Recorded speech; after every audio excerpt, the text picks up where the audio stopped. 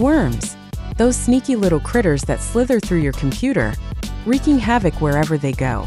They're like digital cockroaches, multiplying like crazy and leaving a trail of destruction in their wake.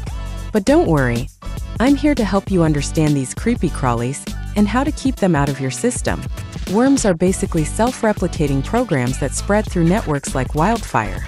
They exploit vulnerabilities in your software, sneak into your system, and then start making copies of themselves, infecting everything in sight.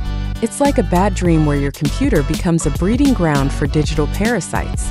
But here's the good news. You can fight back. Keep your software updated, use strong passwords, and be careful what you click on. And if you suspect you've been infected, don't panic.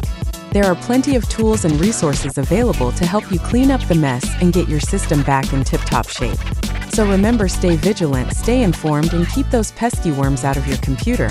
Your digital well-being depends on it.